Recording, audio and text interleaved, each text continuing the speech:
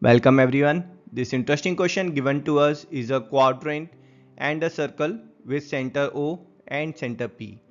This purple rectangle area is 6 cm square.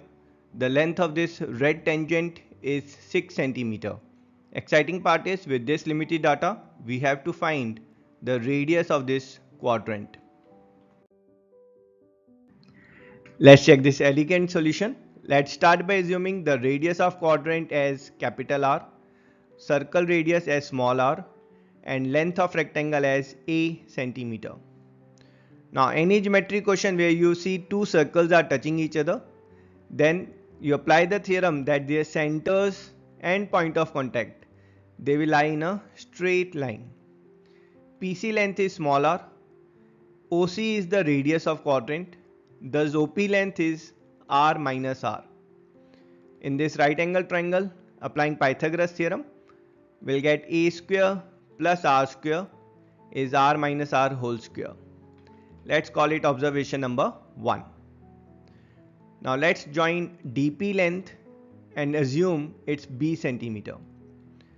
Now OA is a, thus FP length that will be same as a centimeter. FO length that will be same as PA or R centimeter. Now o, DO length that's radius of quadrant capital R thus DF that will be R minus R. Again in this right angle triangle applying Pythagoras theorem we'll get R minus R whole square plus A square is B square. Let's call it observation number 2. For our third equation let's join PE that's radius R we know that radius is perpendicular to the tangent. Thus this angle is 90 degree. Now in this right angle triangle applying Pythagoras theorem we'll get our third equation that 6 square plus r square is b square. That's our third observation. Solving these three equation for that let's start with equation 2 and 3 in this comparing the value of b square on both side LHS will be r minus r whole square plus a square. RHS will be 6 square plus r square.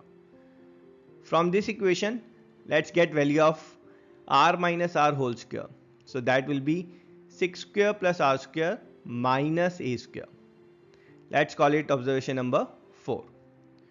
Now value of r minus r whole square from equation 4, let's replace it in equation 1. So we'll get a square plus r square is 6 square plus r square minus a square.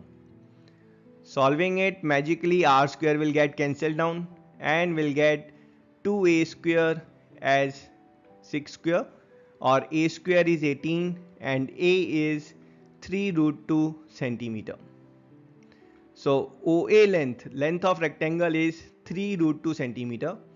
Area of rectangle is 6 centimeter square. So comparing the area, we'll get area is length times breadth that's a into r that's equals to 6 centimeter square.